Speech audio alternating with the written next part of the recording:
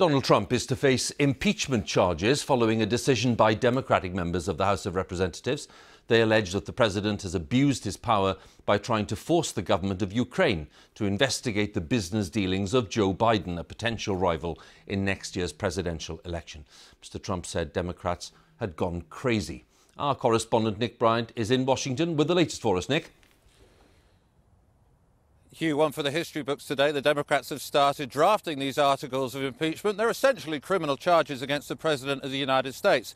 And the Democrats can use their majority in the House of Representatives to impeach Donald Trump.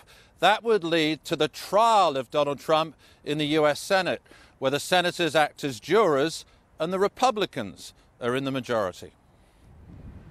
On Capitol Hill today, the battle line started being marked out for an epic political fight a process likely to lead to the trial of Donald Trump, a constitutional spectacle seen only twice before in America's turbulent history. The Democratic House Speaker Nancy Pelosi is now ready to move forward with drafting the articles of impeachment, a charge sheet in effect, accusing the president of high crimes and misdemeanors. Sadly, but with confidence and humility, with allegiance to our founders and a heart full of love for America. Today, I am asking our chairman to proceed with articles of impeachment. The Democrats have accused Donald Trump of undermining American democracy by trying to get political dirt from the president of Ukraine, Volodymyr Zelensky, on his rival, the former Vice President Joe Biden, using U.S. military aid as an inducement. But Donald Trump arrived home from this week's NATO summit saying the Democrats are crazy and if they're going to impeach him, they should do it fast so the country can get back to business.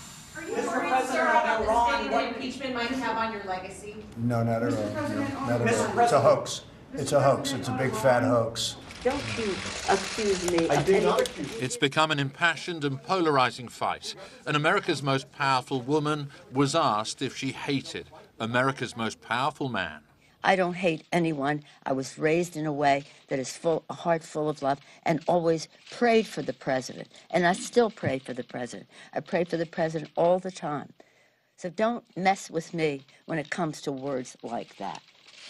It's beginning to look a lot like Donald Trump will be impeached by Christmas and start the new year with a trial in the Senate where his Republican allies have the votes to deliver a not guilty verdict.